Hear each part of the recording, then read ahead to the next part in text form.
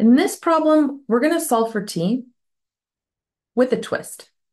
So suppose you have $1,400 in your savings account at the end of a certain period of time. You invested $1,100, well, $1,100 at 3.2% simple interest rate. How long in years was your money invested? So this is a question asking about time. This is a question involving simple interest. So I know I'm I equals PRT.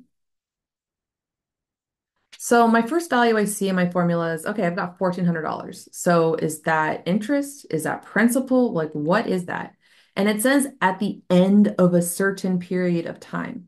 So what this is, is your account balance at the end of it all. What you invested plus your interest. That is your future value. So at the end of all this time, you have $1,400. Okay, well, I don't have a place to put future value in my formula, so I'm just going to hold that off to the side for a second. Second sentence, you invested $1,100. Ah, so this is my principal. This is what I started with. And I've got 3.2% simple annual interest, so that's R. And of course, how long? That means I'm going to be solving this equation for T. So to capture what we have, we don't know the interest. We know the principal is $1,100. Our rate, 3.2%, so convert that to a decimal of 0.032. And the time, that's what we're going to solve for. So let's plug, well, wait, we can't plug all this in, right? We would have two unknown values. Hmm. So we need to go back to the $1,400 and the future value. What does that mean for us? Well, future value is principal plus interest. And we know that the future value was $1,400. Our principal was $1,100. So whatever I add to that is my interest.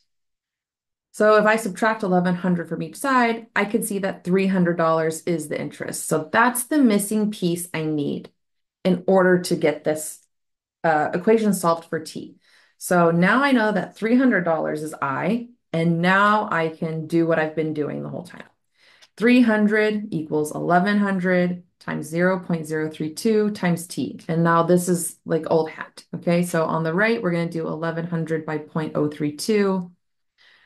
So my equation simplifies 300 equals 35.2t. Now I'm going to divide each side by 35.2 so that I get cancellation and t is isolated.